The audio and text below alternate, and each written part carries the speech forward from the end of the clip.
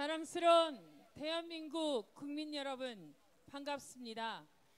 2004년 여러분들과 촛불 하나로 이 나라의 민주주의를 지켰던 최광기 여러분께 인사드립니다. 반갑습니다. 지난 15년의 시간을 우리는 똑똑히 기억하고 있습니다. 2004년 광화문에서 처음 들었던 촛불 그 하나로 우리는 전 세계 그 누구도 이루지 못했던 명예혁명을 이루어낸 자랑스러운 국민들입니다. 자랑스러운 국민 여러분, 오늘 우리는 이 자리에서 다시는 돌이킬 수 없는 시간을 지켜낼 것입니다. 그 누구도 않을 것입니다.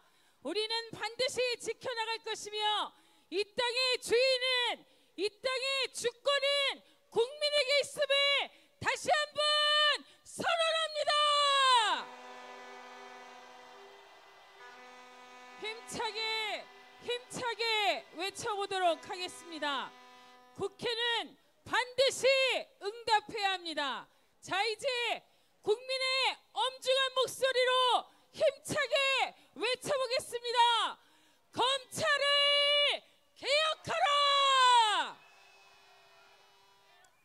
자, 힘차게 다시 한번 제가 외쳐보도록 하겠습니다. 검찰을 하면 국민의 목소리로 외쳐주시기 바랍니다. 검찰을! 세 번씩 외치겠습니다. 저것들이 귀가 멀었습니다. 검찰을 개혁하라!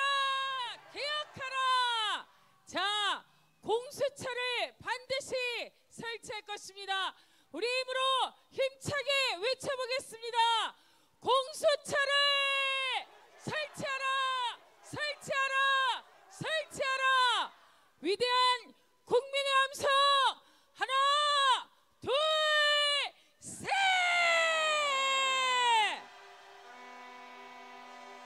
자, 이제 우리는 그 누구도 우리는 기억하고 있습니다. 촛불 하나로 이 자리에 달려왔고 어깨와 어깨를 걸고 어디에 사는지도 몰랐지만 함께하는 시민들이 있기에 반드시 승리할 것을 믿습니다. 오늘도 자랑스러운 시민들이 대한민국 국민들이 전국에서 오셨습니다. 서로를 뜨거운 박수와 함성으로 격려해 주십시오. 자, 오늘 우리는 모두가 하나임을 다시 한번 확인하면서 여러분 이 아스팔트 바닥에 앉아 있는 여러분의 이름으로 또 한 분을 모시고자 합니다. 오늘 첫 번째 대한민국의 자랑스러운 주인이고 대한민국의 자랑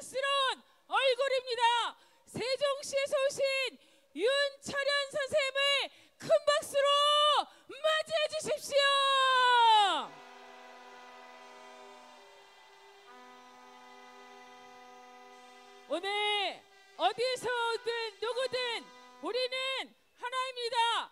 대한민국 국민의 이름으로 다시 한번 큰 박수로 맞이해 주시기 바랍니다.